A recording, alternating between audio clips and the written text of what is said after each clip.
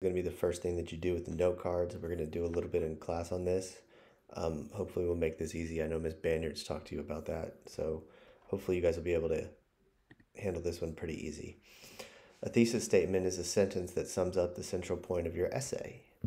Um, and believe it or not, there's two systems for doing this. And again, if anything that I say contradicts what Ms. Banyard said, go with what she said. All right, if you're doing an informative essay, you're going to use this formula, A plus B plus C equals conclusion, or conclusion equals A plus B plus C. Um, if you're doing an informative essay, this is actually pretty easy. The argumentative essay is a little more complex. But if you get this one and then you get an argumentative essay on the Florida State test, whatever they call it now, um, you're going to hammer that. You're going to do really, really well. All right, so my informative essay. At the dawn of the 20th century, as nations were building the military, alliances were forming, nations were competing for territory, and national pride was at an all time high, tensions began to rise in Europe.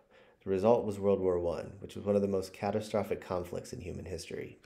All right, so um, went with A plus B plus C equals conclusion. And in this case, this one actually works better.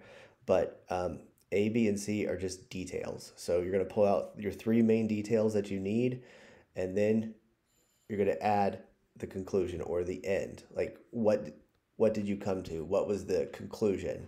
And that's kind of the hard part right here. Tensions began to rise in Europe, and the result was World War One, which was one of the most catastrophic conflicts in human history.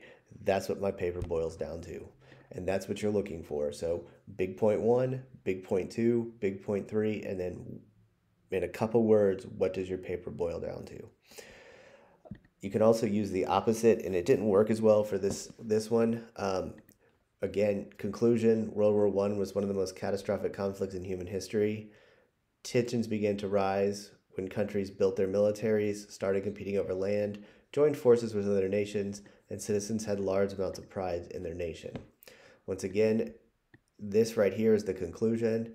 A, B, C, I kind of went with D2. Those are right here. Um, and again, informative essay is easy. What you're really looking for is this. What's your main thing? If there's one thing that you want somebody to learn, what is it? And then the three or four big reasons why you came to this conclusion. All right, I forgot to put a meme there. Argumentative essay is a little bit more difficult. Um, this is actually how they taught us to do it when we did when I did APUSH training a couple summers ago. Um, counter argument is X, Y is argument, Z is conclusion. And you're going to start the thesis statement with although or while. Um, make sure you start with a capital letter. And then I broke it. All right.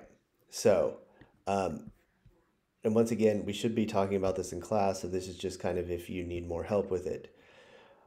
Um, start with although or while. Although George Washington laid the foundation for the presidency, because Abraham Lincoln freed the slaves, Lincoln is considered the greatest president in U.S. history. So once again, my counter argument is X. So if you're doing an argumentative essay, the first thing you want to do is you want to hit them with the counter argument. George Washington laid the foundation for the presidency. A lot of people say George Washington is the greatest president. I don't really disagree with that, but in my case, my conclusion is is that I actually think Lincoln was because he freed the slaves. So again, start with although or while, start with your counter argument. George Washington laid the foundation for the presidency. And then my argument is because Abraham Lincoln freed the slaves, he is considered the greatest point president in US history. And that is your conclusion.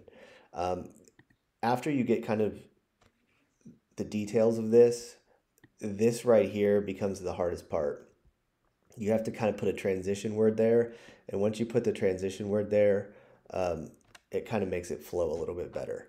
Once again, if Miss Banyard tells you something different, go with what she says. I'm only here to help.